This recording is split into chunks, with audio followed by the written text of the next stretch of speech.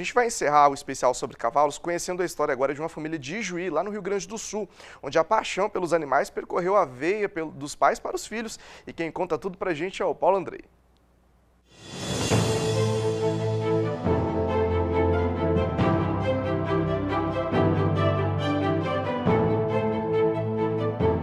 O sonho de ver os filhos ligados à terra, o sonho de fazer deles empreendedores e sucessores do próprio negócio, fez do empresário rural Neuver Zardim transformar em realidade o desejo de ver nos filhos a sua extensão.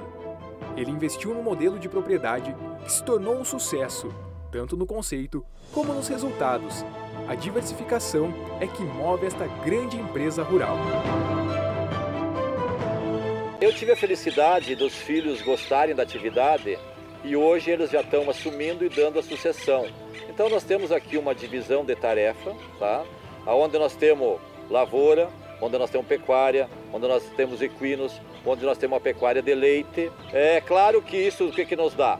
Nos dá um aproveitamento melhor da propriedade, nos dá a opção de ter praticamente uma renda todos os meses do ano e tu sabe que quem lida com a, a atividade agropecuária, a atividade agrícola, ela é uma atividade, uma indústria a céu aberto.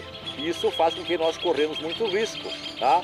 No momento que você tem diversas atividades, você começa a diluir um pouco do risco.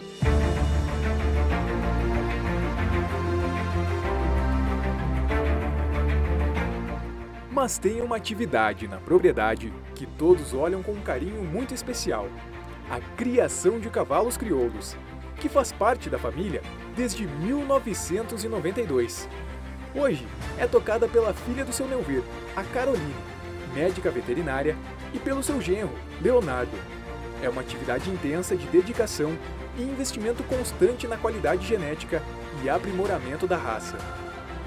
O nosso processo vem desde o acasalamento, onde a gente já começa a pensar qual é o garanhão que vai servir para qual égua.